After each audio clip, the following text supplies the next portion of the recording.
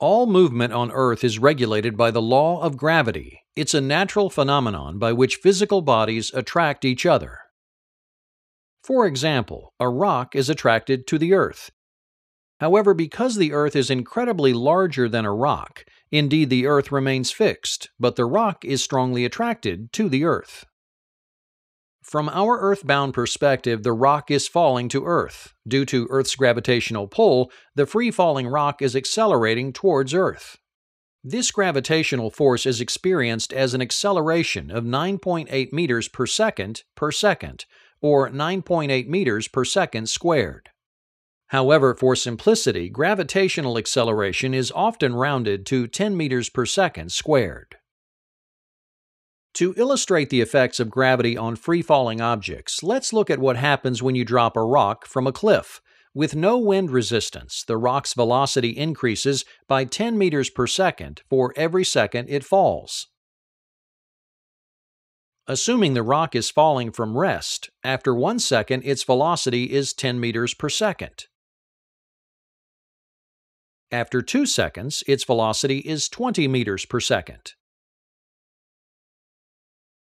After 3 seconds, it is falling at a velocity of 30 meters per second.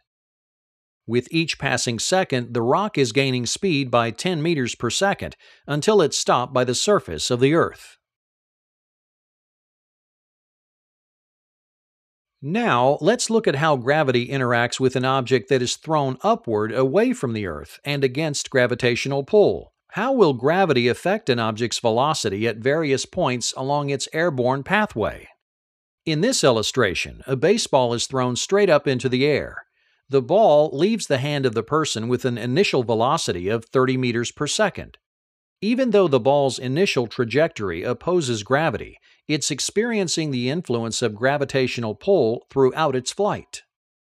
As the ball travels upward away from the Earth, it slows down or decelerates at a rate of 10 meters per second squared. After one second, the ball is only traveling upward at 20 meters per second.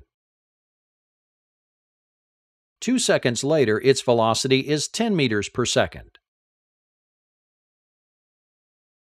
After 3 seconds, the ball is traveling at 0 meters per second.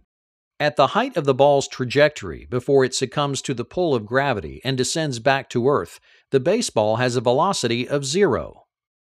This moment of zero velocity is known as a state of equilibrium.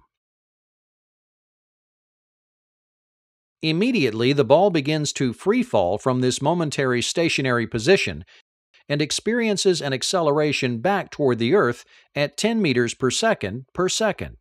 After falling for 3 seconds, the baseball is at a velocity equal to its initial velocity of 30 meters per second.